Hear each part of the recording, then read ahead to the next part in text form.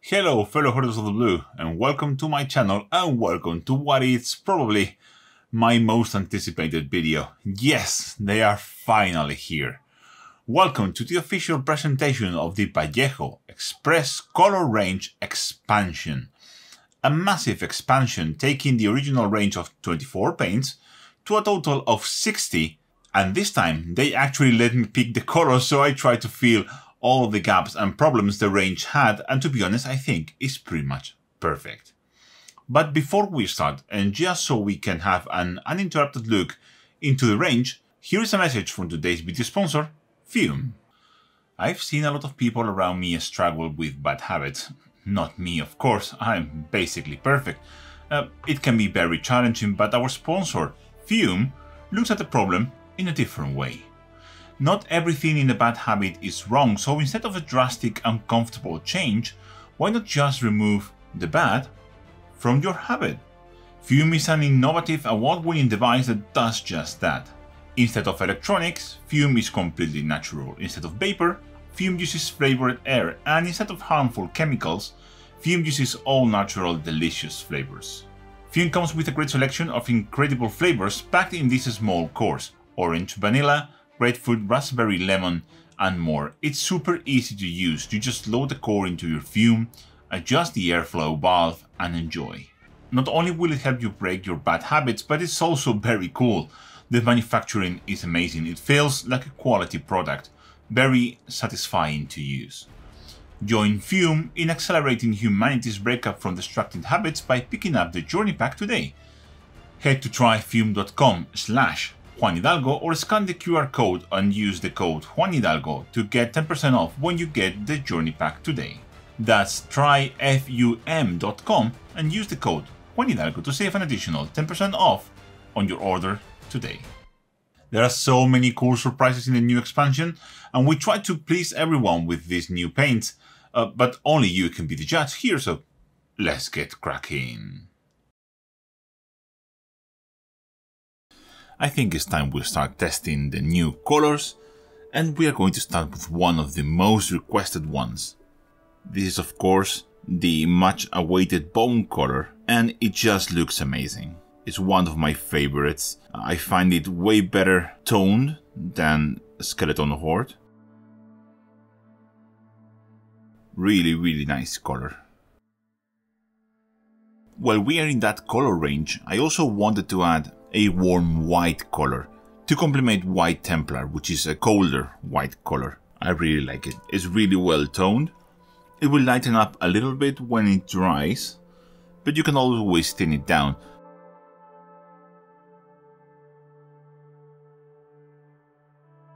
Browns were also one of those colors that, you know, we didn't have enough in the original range, but we have plenty now. And we're going to start with another of those requested colors, which is a wood color.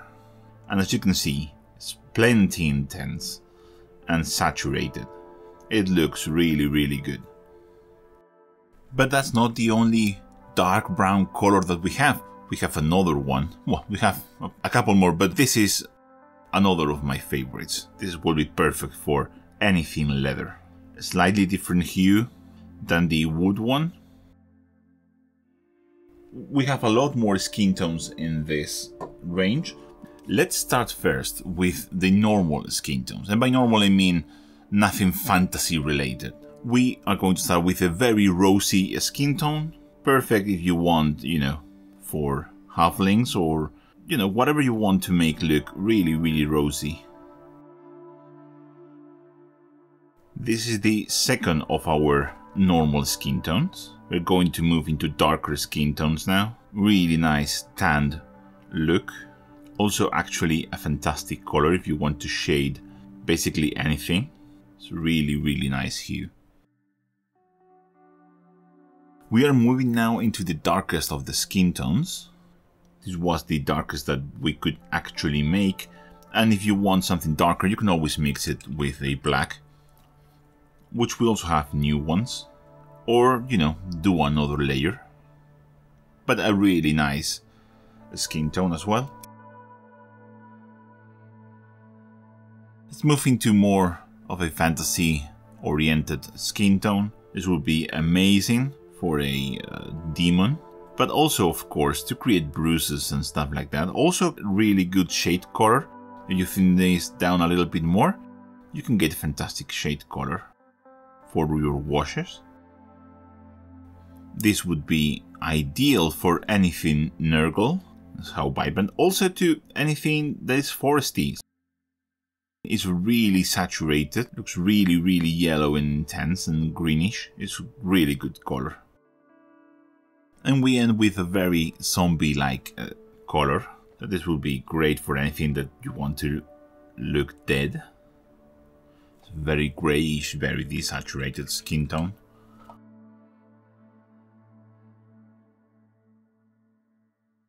Let's move now into something a bit more vivid and is one of my favorite colors of the new range. It's new orange. This is a very yellowy orange, amazing color to paint anything. Plasma, fire, if you want a really intense and fiery orange, this is what you will go through and going to use this a lot. Uh, speaking about intense, let's go and check this color out. This is a super intense pink, really bright, really joyful, very bubblegum kind of color. I really, really like it. I was surprised how much I like this color when they sent it to me for testing. Let's keep up the intensity with a new purple. A really bright and shiny purple. It would be amazing if you want to paint Emperor's Children, be it 30k or even 40k. Beautiful color. we still have more pinks and this is a lovely one a little bit lighter in pigment but a fantastic color to have more muted kind of pink with nice purple shadows really really nice color now we have another of the requests we wanted to create a range of grays and this is the first one with a slight very very slight purpley hue a really nice, rather neutral grey. This is another of the greys, a little bit warmer grey, a little bit more brown oriented. I, it would be great to paint or to tone or create weathering, but also if you want like a dirty black or dirty grey color, to a really nice complement to Black Lotus.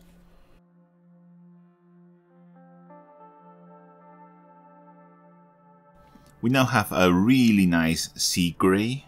I love these colors, one of my favorites. Amazing if you want to paint non-metallic metal, or even if you want to shade your steel with this. It's a really nice greenish bluish hue. And now we have a straight up cold grey. This would be a great hue if you want a more desaturated space wolves. This would be an ideal color for that. So not that super bright baby blue. So if you want something a bit more muted, this would be amazing. And on top of those colors, for the normal range, uh, we wanted to add a green and a blue. So the first one is like a meat green, just a meat very bright saturated green with a yellowy tint. If you've ever used uh, Artist Paint, the phthalo green yellow shade, this would be very much the same color. It's that, that kind of hue. And finally the blue, we have a very much like Prussian blue, another fantastic color to have, really useful, desaturated dark blue. Ideal if you're painting something like Napoleonics, would be a great color for you to have. Really nice hue, it's a lovely color. These paints I'm going to show to you now are also from the normal range. I'm going to explain what not normal is in just a teeny tiny bit. But we wanted to design a set of 8 paints that would fit any modern military wargamer from World War II to the modern era, with colors that are specifically tinted to match World War II colors. Let's start with a field grey, lovely greenish grey color. It's fantastic color. This would be your British battle dress color. The name is self-explanatory. A greenish brown color. It's a very... I really hope we tone this correctly. It's really difficult to do with these kinds of paints, but I'm really happy with the final results. Remember this is applied over pure white, so if you want a more muted result, darker result, just apply it over a grey and it's going to look fantastic. This is a more yellowy color, ideal if you want to paint Imperial Japanese or even Soviets. This fits in basically that space. It's really easy to just thin it down a little bit more if you want a lighter version of this. We also made two olive drab colors. This is the first one, a darker one, more greenish. Really, really good for your US army.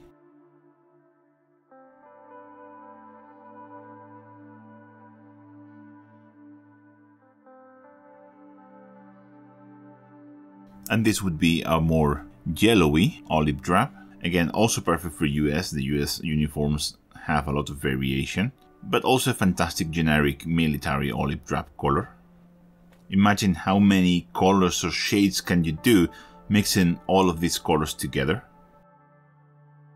For the last of the military greens, I wanted to have something that would match almost perfectly or as close as we could do it to the Cadian box art, so this would be it. But it's also again a really nice dark green military color, really useful color. We're going to end with a couple of ochre colors. This would be the lighter of the two. Fantastic color. It leaves a really nice buff color on the surfaces with a nice rich shadow. It's such a good color. Oh, again, I designed this specifically to match as close as possible to the Cadian undersuit. And for the last one of these military colors, we have a darker, very, very yellowy orangey ochre. Of course, this is useful for anything, but look at that super nice color. If you want to paint anything desert camouflage or anything like that, this would be ideal. Super orange and beautiful ochre color. This would also be quite good to paint Tau. Really nice saturated staining color. And with those, we conclude the normal Xpress colors. And I say normal because we have eight more colors, but they are different. These are the intense Xpress colors, and these are like a sub range of the Xpress colors. And let me explain why we chose to separate them from the normal range. Uh, that is because they have a lot of pigment in them. So much pigment that they behave differently from the rest of the range. So if we just left them inside of the normal range, we will have inconsistent behavior between paints in the same range, creating a not good experience for the user. So having them in a separate range, we make sure that those eight colors are consistent between them and the rest of the range is consistent between itself. These are really useful colors to have and I highly recommend you do them. And we're going to start with a red. This is a more intense red. You can already see it. It's thicker, it's more opaque, has a really nice intensity. I would recommend you apply this over a bone colored primer if you can. It will give you a more like saturated red. We also have intense yellow, which is very really staining and it will leave a really nice contrast and a fantastically saturated yellow over the surfaces. This one creates more contrast than the previous ones, which were a little bit less contrasty. This was designed to provide more contrast, have a more orangey shadows than the other ones. We also have a new orange, another one, different than the other ones, super intense and opaque orange this color would be great if you just primed white to apply like a base coat of orange. is that kind of color. It's really, really nice and intense and saturated.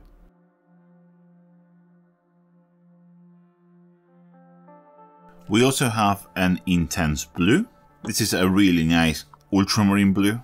So if you are familiar with the ultramarine pigment, this would be very much be it. Uh, fantastic, obviously, for ultramarines. We also have an intense dark green, obviously designed to match the Dark Angels armor, specifically designed to be Dark Angels armor in a bottle. To me, much much better than the Dark Angels contrast paint, Dark Angels green, more saturated, more intense, more contrast and easier to use because Dark Angels is one of the most difficult ones. This is much much easier and leaves an amazing looking green the next one is a desaturated turquoise color. This will look amazing for Sons of Horus players, for example. But it's a really nice complement to the other turquoise colors of the previous Xpress range. This is way more opaque than the other colors, and it really shows. And it has, again, as I said, a ton of pigment in it. This looks like it lacks contrast, but trust me, when it dries, all the recesses will be quite darker than they are now and it will provide a lovely contrast. You will see it in the final pictures. The range has a lot of love for Space Marine players, and of course we couldn't leave one of the most popular chapters or legions behind. This is an amazing color if you want to paint Space Wolves. It's a, another cold grey, but it's toned to be more of the modern Space Wolves color.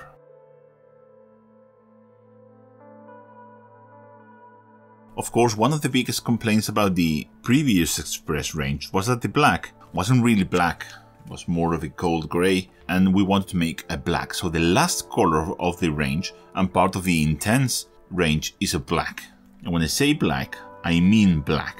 There will be no complaints, this is black. Over white primer, it leaves an amazing black result with just one layer. It's actually quite stunning. It leaves nice edges, nice highlights of a neutral gray. This is really, really neutral. So if you wanted a neutral gray, you can just thin down. That's why we didn't do a neutral gray because this would be, it would serve as our black and as our neutral gray with medium added to it. But look at that. That is black, black, black. So that's the complete range. I really hope you like what we did and I hope you don't miss any colors this time.